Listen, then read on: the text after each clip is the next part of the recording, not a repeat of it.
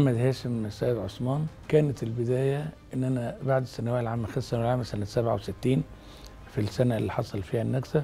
وطبعا عاصرت الأحداث دي كويس جدا وفاكرها كويس قوي ودخلت كلية التجارة الخارجية في الزمالك.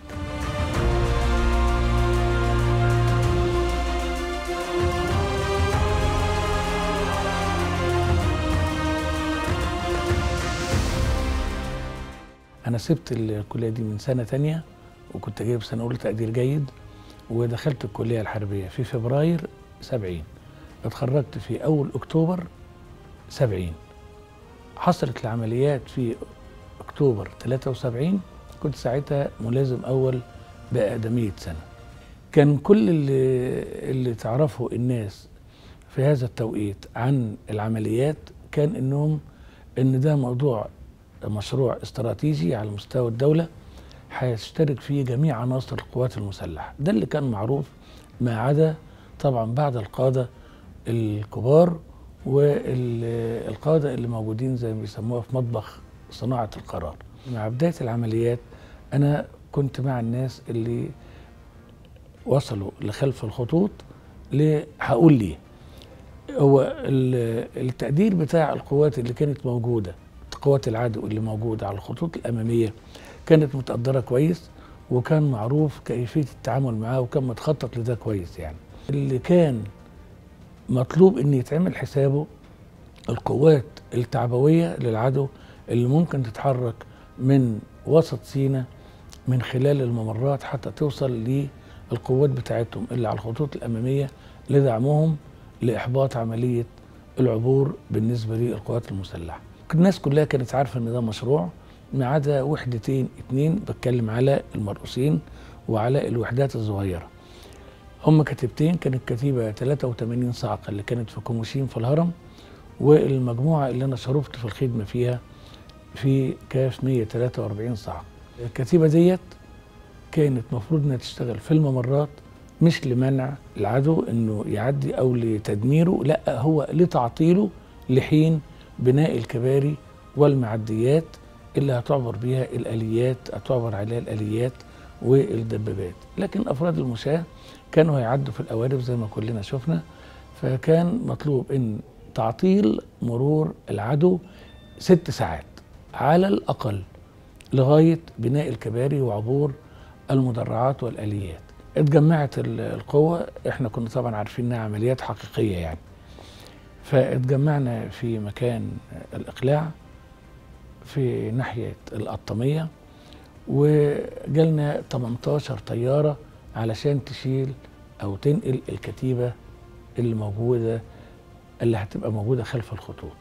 كان في ست طيارات من ال 18 هتشيل سرية ودي هت هتنزل أو هتبر يعني في آخر المضيق من ناحية وسط سينا في اتجاه قلعة الجندي. وسريتين وقيادة الكتيبة كانوا هيتواجدوا في أول المضيق من ناحية القوات بتاعتنا اللي هي موجودة اللي هتعبر يعني وهتنضم لينا وتستكمل بقية العملية يعني.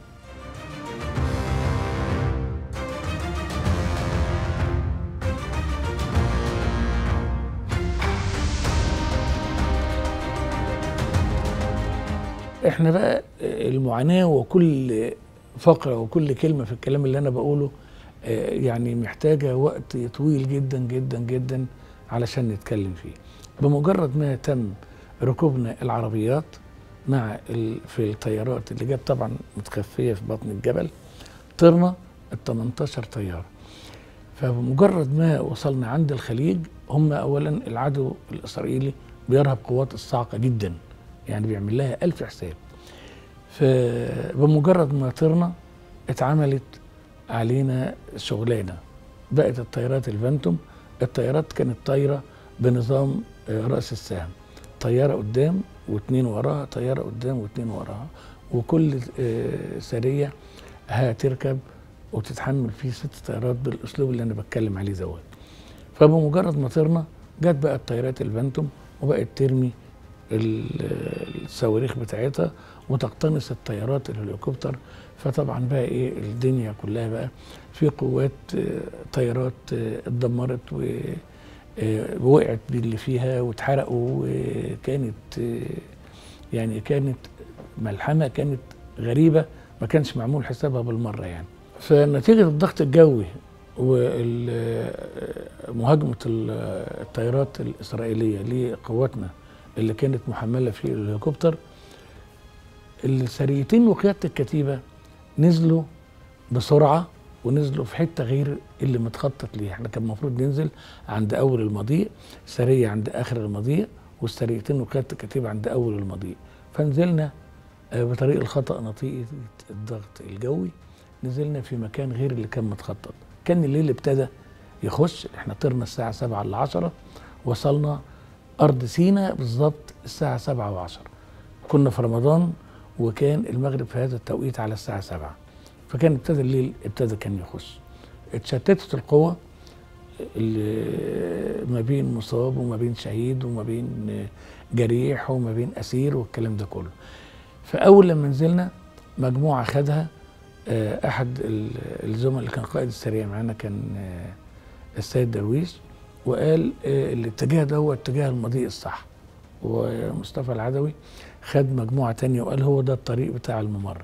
كان كل سرية من السرايا بتاعة الكتيبة كان معاها واحد من الأعراب كانوا منقيينهم علشان كل سرية فيها دليل عربي. فالراجل العربي اللي كان معانا قال آه، المضيق مش في الاتجاه اللي الزملاء مشيوا فيه. طب فين المضيق قال ده في الاتجاه ده خالص. اتجاه مغاير نهائي يعني. فمشينا معاه وكان ما تبقى من الضرب والناس اللي استشهدت. كان آه، كان ملازم أول كان محمد السيد وكنت أنا الملازم أول محمد هاشم والملازم أحمد هاشم والملازم أحمد لؤي. إحنا بس اللي فضلنا مع ال- المجموعة اللي هي كانت موجودة ديت. وإحنا مشينا مع العربي وخدنا اتجاه المضيق لأن هو عارف المنطقة كويس قوي فإحنا مشينا معاه كدليل وكان معانا في السريه وقالوا ده هيبقى الدليل اللي هيبقى معاكم لو تعثرت الأمور.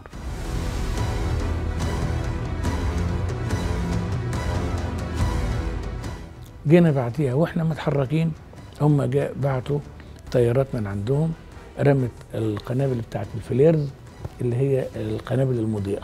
تبقى عاملة زي المظلات كده واخد بال حضرتك بمجرد ما بتنزل ال- البتاع دي بتنفجر الكبسولة بتاعتها وبتنزل تضيء الأرض كاملة كما الظهر لما كنا بالنهار فالطيارة دي راحت نازلة خدت كل الجرحى وخدت كل المصابين واللي مش قادرين والمنهكين والكلام ده خدوهم في هيئة اسرى ورجعوا بيهم لإسرائيل.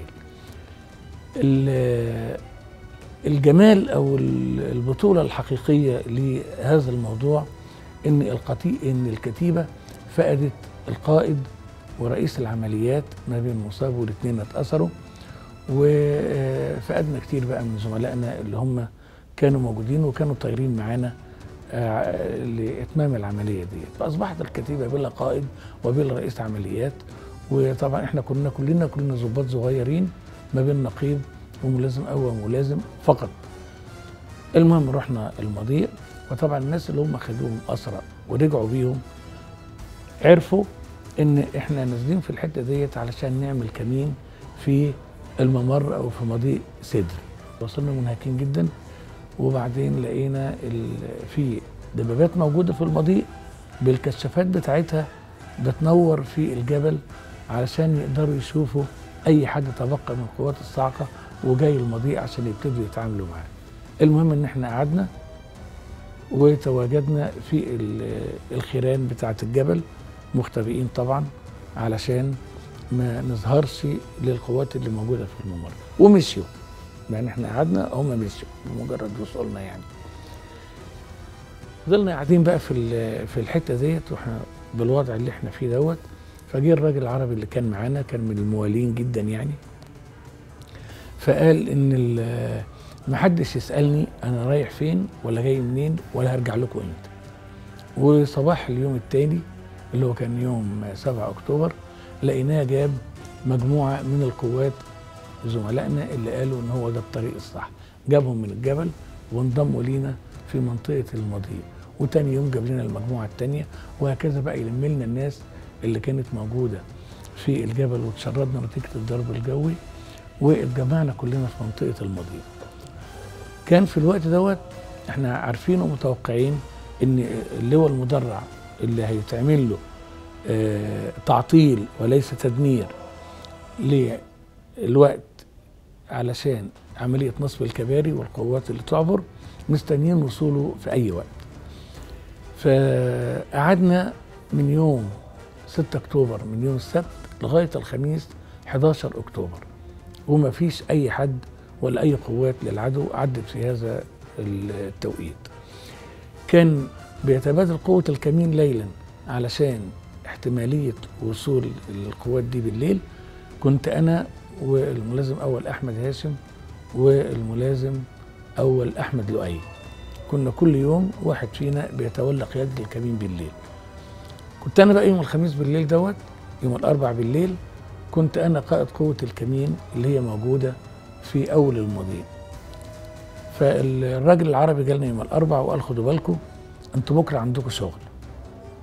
لقينا بقى السرية التالتة كده على حوالي الساعة 3 4 الصبح كده فجرا سمعت دبيب في المضيق ناس جاية اللي عندنا أو اللي إحنا مرتبين له إن اللي جاي اللي هو مدرع مش ناس مترجلين.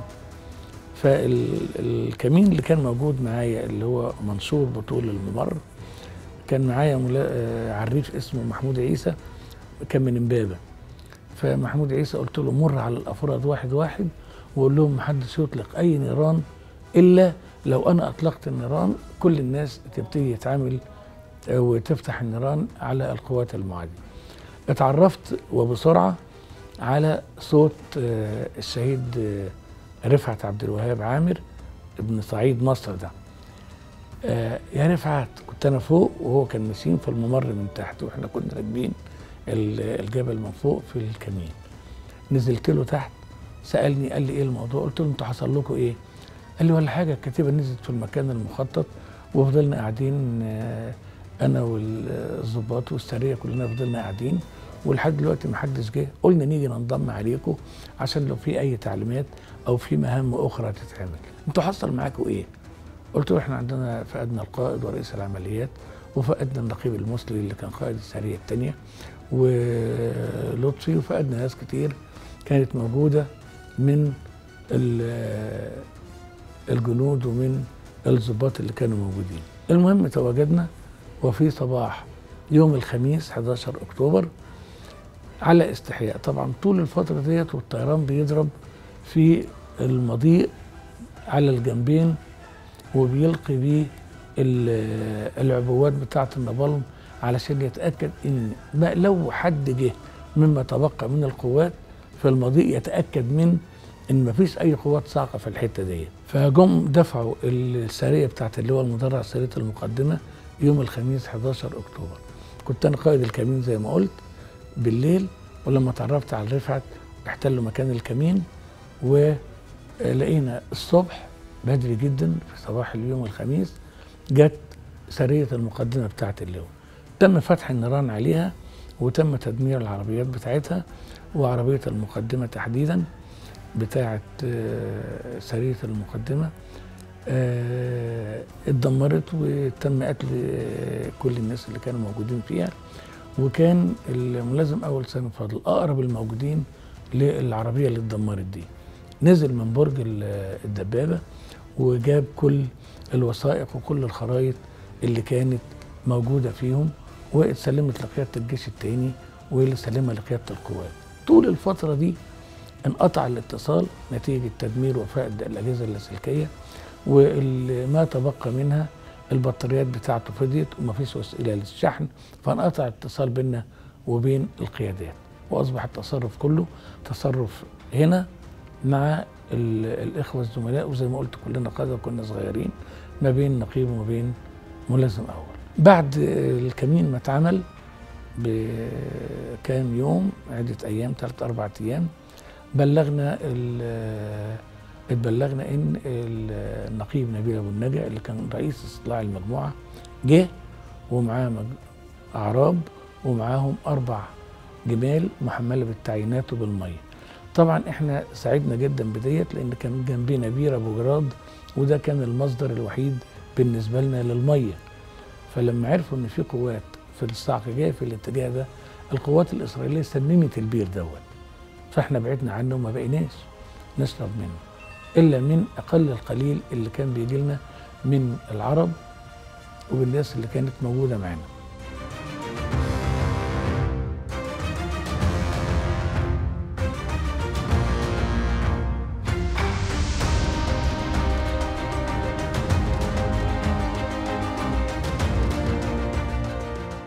كان معاه جواب جاي آه، ده اللي عرفناه يعني أو اللي اتقال لنا.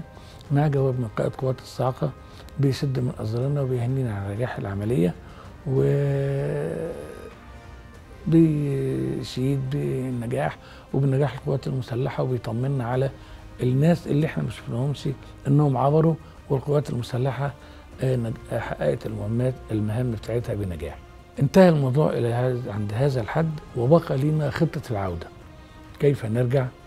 فمعنا الأدلة العرب زي ما قلت خدونا ورجعنا سيرا على الأقدام من الممرات من عند مضيق سدر في جنوب سيناء إلى الأقصى عند عيون موسى. وصلنا رحنا دخلونا نقطة قوية كانت استولت عليها الكتيبة اللي كان بياخدها آه، الرائد مسعد خليفه كان بيدرس لنا مادة الهاون في الكلية الحربية.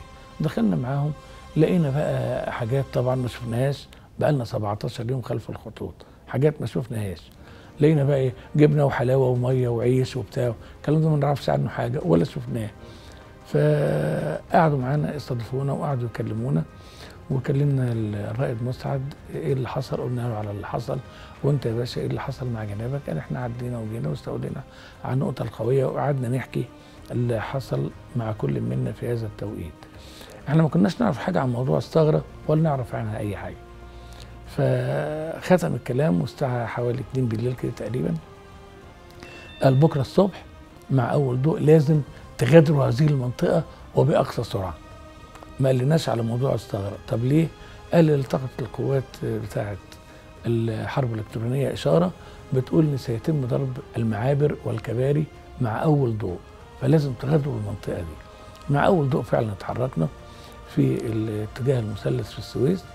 وعدينا ال- المعديات والكباري إلى أن وصلنا منطقة المثلث. لقينا فيها ناس ما إحناش عارفينهم آه، لابسين آه، لبس كلهم ناس مدنيين. مين دول يا جدعان؟ قالوا دي المخابرات يلا بسرعة اركب العربيات. اخلوا المنطقة دي تماما يعني. فكانت في الوقت ده بقى كانت دفعت القوات ال- الإسرائيلية مجموعتين عمليات. مجموعة في اتجاه الجيش الثاني ومجموعة في اتجاه الجيش الثالث المجموعة اللي في اتجاه الجيش الثالث عدت لتطويق الجيش الثالث بعد ما عبر سينا وبقى في الجبهة الشرقية. المجموعة الثانية جت تعدي عشان تدوق الجيش الثاني دمرها الجيش الثاني وما نجحتش إنها تعدي من الثغره كل ده إحنا ما نعرفوش ومحدش قال لنا عليه بالتفصيلات ديت يعني. فقال لازم غزوا المنطقة بسرعة وبتاع مش عارف إيه لأن كانت وصلت خلاص القوات الإسرائيلية وكانوا حصروا ال- الجيش الثالث الميداني بعد العبور. ركبنا ال- العربيات النصر اللي هي بتاعت آه، الجند وجينا في اتجاه السويس. كان هم في التوقيت ده ركبوا جبل عتاقة وكان في المدفعيات اللي كانت طول ما إحنا ماشيين بقى على طريق من مصر للسويس من مصر السويس للقاهرة. كانت بت... كانوا يلقوا علينا طبعا بقى الدنائد بتاعت المدفعية وفرقعة في كل حتة عشان يقطعوا الطريق لمنع أي وصول أي إمدادات عن طريق في هذا الطريق للقوات اللي هي عدت أو اتحصرت في آه، نطاق الجيش الثالث وصلنا بقى لغاية الكيلو أربعة ونص. آه، كملنا طبعا لغاية ما وصلنا لمنطقة التمركز في اللي إحنا كنا متمركزين فيها. جه أول ما قعدنا جه قائد المجموعة العقيد السيد الشرقاوي. اجتمع بينا فورا وقال آه، الحرب ما انتهتش ولسه في إجراءات بتتعمل وبتاع واستعدوا عيدوا ترتيب أوراقكم علشان هتقوموا بمهام أخرى. هو الكلام ده ما حصلش هو كان بس مش عايز فترة تراخي إعادة ترتيب الأوراق والمهام. بقى في ناس تانيين بقى بيقوموا بمهام أخرى في هذه التوقيتات. انتهت القصة عند هذا الحد وابتدينا بقى خلاص بقى نعيد ترتيب الأوراق وكل حاجة من دول. بقى طبعا زي ما قلت محتاجة فترة طويلة عشان نتكلم فيها. أقول للأجيال أو للناس اللي هي موجودة إن كان دافع وطني كان موجود قوي حبا في ال- والناس وطنيين وحبا في مصر. أنا مش بتكلم على نفسي يعني بصفة خاصة إن أنا سبت ال- الكلية ورحت الكلية الحربية وأنا غيري كتير عملوا هذا الكلام حبا في الوطن وحبا في الانتماء لل- للبلد اللي إحنا متواجدين فيها. أنا بقول حب الوطن ده شيء غالي جدا ما يقدرش بأي شيء خالص. التاريخ العسكري سوف يتوقف طويلا بالفحص والدرس أمام عملية يوم السادس من أكتوبر سنة 73 حين تمكنت القوات المسلحة المصرية من اقتحام مانع قناة السويس الصعب. واجتياح خط بارليف المنيع وإقامة رؤوس جسور لها على الضفة الشرقية من القناة بعد أن أفقدت العدو توازنه كما قلت في ست ساعات.